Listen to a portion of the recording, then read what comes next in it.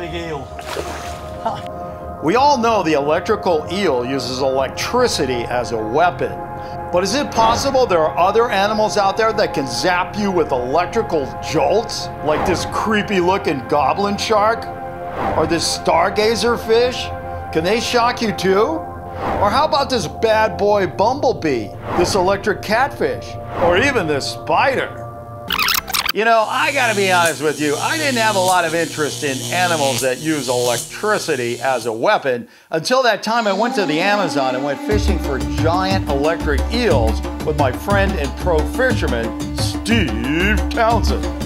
Right then, which eel should we catch? There's about 10 to 15 eels here. And they just pop up and they come back down again. In that video, not only did I learn electric eels are one of the most dangerous river monsters out there, but they can grow up to 8 feet or about 2.5 meters long. That is huge. And if you're not careful, they can zap you with up to 900 volts of electricity, just like this little alligator found out. Okay, now that we know to stay way far away from electric eels, let's take a look at a couple other creatures that we may need to keep our distance from, like the goblin shark. It's a rare species of deep sea shark that has a long, flat snout, and it can do this like weird thing with its jaws. It just like jumps out at you. It has nail-like teeth, but on the other hand, does it have its own electrical weapon system too? Well, maybe the answer is yes, but then again, maybe the answer is no. Tell you what, if you think the goblin shark uses electricity as a weapon, then vote real. If on the other hand you don't think it uses electricity as a weapon, then vote fake. If you think we don't know one way or another for sure, then don't be afraid to vote for unknown. You ready? All right, go ahead and vote up here. Leave me some answers down in the comment section or just shout it out if you're in a group, your family, watching with your parents or friends, anything like that. And I am going to get at the electrifying answer here today. Yes, that's right. We're going to be doing a lot of electric puns. We're going to zap every possible electric pun we can today. All right, and the official answer is. Are you on pins and needles? Uh, I hope you are because the answer is fake. As it turns out, sharks do use electricity when they hunt for food. They have specialized receptors on their snouts that help the shark detect electrical fields given off by potential victims. So while the goblin shark does have the power to detect its food swimming around through something they call electrolocation, it can't actually zap any of its prey, so we don't consider it a weapon. But then again, with a jaw and teeth like that, who needs a zapper?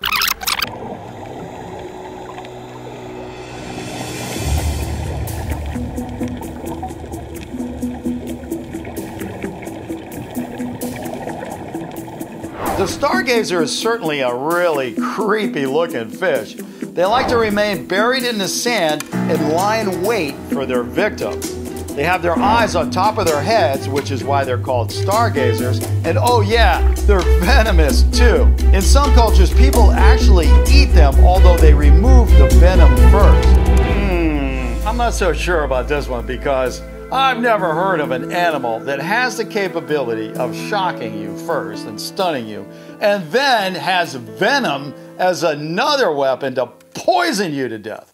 I mean, that would be one really mean fish. But who knows? You know, nature can be pretty scary sometimes. So, tell you what, here's the statement Stargazer fish uses electricity as a weapon. If you believe that statement, then vote real. If you don't believe that statement, then vote fake. If you just like peanut butter, then vote unknown or maybe something else. And I'll get out this shocking answer here. That's right. I told you. I Told you I'm going to be doing every electrical type pun I can think of today. All right. And the shocking answer is wow, this really is shocking. It's real. The stargazer can fire off electrical shocks, essentially shocking and immobilizing its prey, and then it just poisons them to death. Whoa, is that mean or what? Next on our list is the Bumblebee. But just to be clear, I'm not talking about Bumblebee the Transformer. That's for another video altogether. The bumblebees we're talking about are the real, live, organic bumblebees, okay? They're actually a lot bigger than regular honeybees, but on the other hand, they don't produce as much honey as their little cousin. According to livescience.com, there are over 255 types of bumblebees. And well, we know they can sting you pretty good, but is it possible these big bad bees can also zap you with a bolt of electricity? Okay, so tell you what, go ahead and leave me your votes up here whether you think a bumblebee actually uses electricity as a weapon real or if it doesn't fake. You can also leave me an answer down here in the old description box or just shout it out as usual. I will get out the. Did I already use electrifying? I know I used shocking. I think I'm running out of puns here. I'm getting out the current answer. Oh, that. That's not. Uh, and the current answer is wow, fake. Now, I know a lot of you guys are out there thinking, no, hey, I've already read that bumblebees use electricity as a weapon. What are you talking about? Well, maybe you did, but that's not actually accurate. Yes, they use electricity, but not as a weapon. Believe it or not, bumblebees use electricity, get this, to elevate pollen off of flowers. That is so amazing. I, nature never ceases to amaze me. I'm going to leave some extra information in the description box if you want to check out the details on this one because that is a mind blower. In Africa, there's a fish called the electric catfish. While not the prettiest catfish I've ever seen, they're also very effective hunters. They come out at night and they feed on other fish and fish eggs. Okay, now I know what a lot of you guys are thinking. You're thinking, hey, if it doesn't use electricity as a weapon, why would they call it the electric catfish? Well, I'm here to tell you be very careful to jumping to those kind of conclusions because there is a whole list of animals out there in the world of nature that they have names that has nothing to do with what they are. How about the bear cat? That has nothing to do with being a bear. Or remember that time we went swimming with mermaid Melissa with the whale sharks? Well, guess what? That fish is neither a whale or a shark. They just call it that for no reason at all. Probably because they think it's a whale, but uh, uh, who knows. But anyway, go ahead and leave me your votes up here, comments down here, shout it out. I'm going to get directly to the answer. Look, it's not even. uh, okay, on this one, I have to say, this is neither alternating current, get it, or direct current. AC or DC because the official answer is real, as in true. According to Encyclopedia Britannica, this species of catfish has the ability to produce an electrical shock up to 350 volts, which you can imagine what they use it for.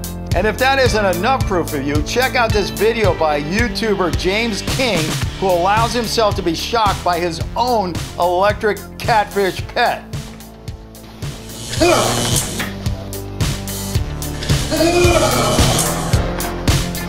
I'll leave a link to the full-length video in the description box. We all think Spider-Man is cool, right? Especially how he swings through the air and casts his web to capture the bad guys. But generally, I don't think we think of electricity when we think of Spider-Man. We think of electricity when we think of a different superhero, Thor. But do real spiders use electricity as a weapon? I'm not so sure about that one either because look, face it, I've been in a lot of tents in the jungle and wake up with spiders crawling across my face, but I've never even felt a tingle of electricity. But, you know, I, I have heard that they do use electricity in weird ways. Listen to this. This is another believe it or not, folks. Spiders can actually fly hundreds of miles using electricity. It's called ballooning. Spiders have been found two and a half miles up in the air and 1,000 miles out to sea. Now, according to Atlantic.com, Erica Morley and Daniel Robert from the University of Bristol have shown that spiders can sense the Earth's electric field and use it to launch themselves into the air. Unbelievable. All right, so now we know these little creatures can use electricity to launch themselves in the air, but here's the question. Can they also use electricity as a weapon? Okay, if you think that's true, that spiders can use electricity as a weapon, then go ahead and vote real up here. If you don't believe it, well, you know how to vote, okay? You can also leave answers down here, shout it out. I'm gonna get out this because I know. And are you ready for this one? Are you all charged up for the answer? I haven't quite run out of those little puns yet. And oh boy, woo! This one is gonna hit you like a bolt, bolt of electricity, uh, because the answer happens to be 100%. But I'm not kidding, without any doubt, real. All right, so here's the deal. I mean, not only can these spiders like do this amazing stuff of flying around by using electricity, but the way they use it in a web is really amazing. What they do is they they they coat their web with a special kind of glue uh, that has like these charged particles in it. Now, these particles are so charged up that when some prey comes even close to the web, the web will actually like act like a magnet and stick to the prey, and guess what? Then the prey's stuck in the web. Wow. Okay, so there you have the shocking truth of my list of electrified animals. But you know what I'm thinking right now? I'm thinking, I don't think this is the end of the list. I'm thinking there's more animals out there that use electricity as a weapon, but I just don't know who they are. If you do know, be sure to leave a comment down in the comment section before you go today so that we can all be enlightened. Now, if you're thinking about clicking away today, I would not do that because I've got a really good favorite fake of the week. I'm not kidding. This is one of my favorites of all time. So stay tuned for it.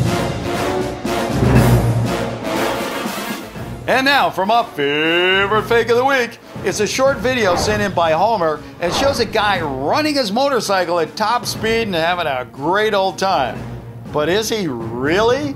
Watch this. See what I mean? That is unbelievable. The video first showed up on Facebook and was made by Producciones Audiovisual. Great job, guys. Now that's what I call a deep fake.